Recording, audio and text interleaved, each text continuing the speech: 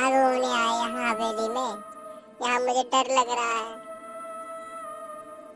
कोई भूत मूत आ गया? अभी माँ पकड़ लेगा हमको। साला हमको लगता ही नहीं कभी कभी कि हमारी औलाद है। इतना डरपोक औलाद तो तुम्हारी है। अब डरती क्यों है ये हमें नहीं पता। ये तुम ही देखो।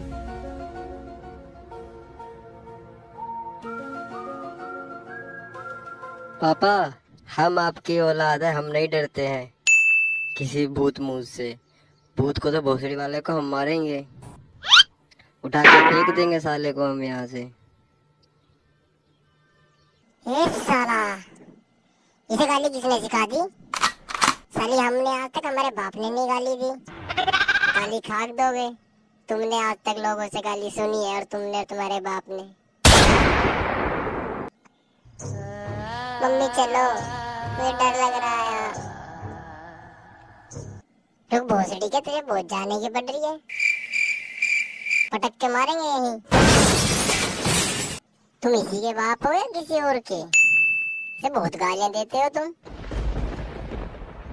पापा यहाँ देखो पीछे क्या है। हमको लगता है क्या है वहाँ? आके देखो। आते हैं फिर।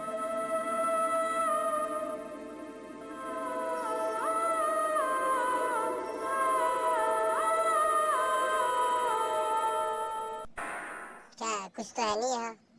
वही भोग रहा है।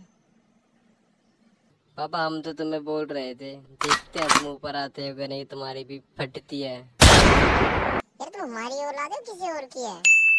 एक तो ये नहीं बताती। सही सही। कहीं से बरात में सुन लेके आई थी। देखो जी कम मुँह चलाया करो। औलाद ये तुम्हारी है। चाहे डर चाहे डरपोक हो चाहे गालियाँ सुनती हो। ठीक है? मम्मी चलो डर लग रहा है। चुप हो जा भोसड़ी वाले यहीं से फेंक दूँगा। पापा इसको डर लग रहा है तो चलो ना फिर यहाँ से डर तो अब हमको भी लग रहा है।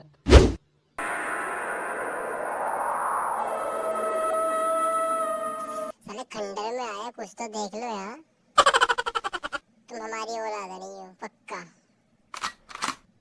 पक्का साले हमारी औलाद नहीं हो। पूछते ऐसे किसकी औलाद है रुक जा।